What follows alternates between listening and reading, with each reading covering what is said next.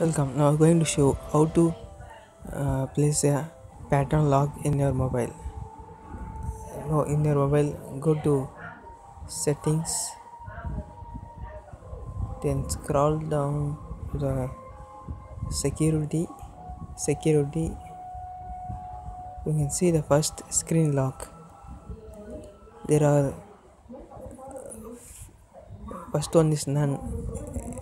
Next next one swipe pattern pin password. Now we're going to use pattern. Just click tap the pattern. Now draw the pattern as your wish without taking your finger.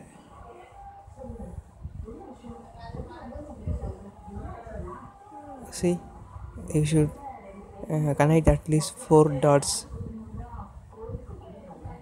three four. Now click now tap continue button. Do this repeat the same. Confirm it by tapping the confirm button. Here features we hide the notification. I just keep left left it done now see how it works. Now we're going to press the power button.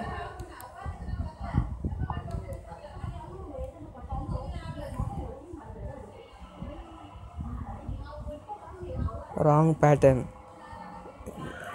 Now the correct pattern is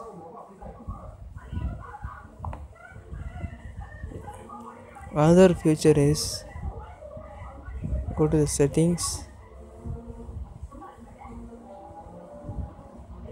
security. You can see the third option make pattern visible. When I switch on this and go to the home now I press the power button.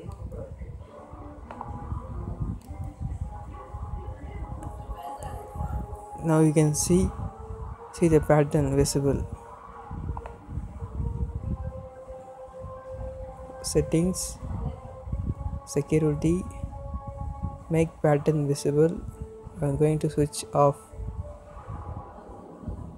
Go to the home page.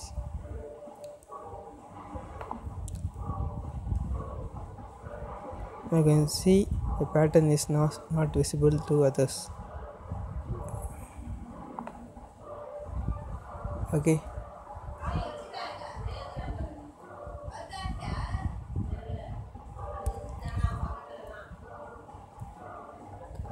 okay if you like this video just click the like button and comment below so i can post the other other videos.